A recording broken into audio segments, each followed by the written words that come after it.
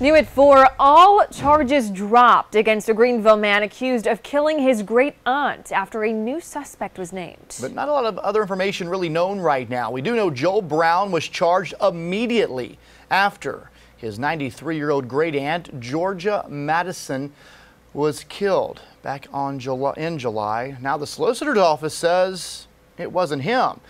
Greenville police apparently asked the solicitor's office to drop the charges. And now Javon Carter has been charged with murder. No news conference was held, no press release was given, no explanation. But we are trying to get an explanation why one man was charged and now another man is, and those charges were dropped.